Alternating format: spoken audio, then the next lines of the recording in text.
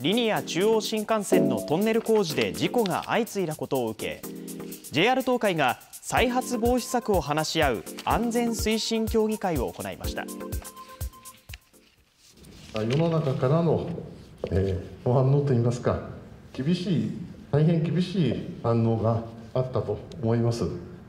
あ、今回、まあ、リニア工事に関する、えー、新幹線安全推進協議会というものを立ち上げるということにいたしました。当社とゼネコンさんの気持ちを一つにで、まあ、強力な体制で事故防止に取り組んでいこうということが目的でございます。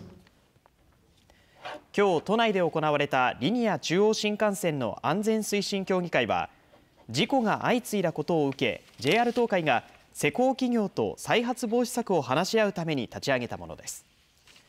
初回となる今日の会合では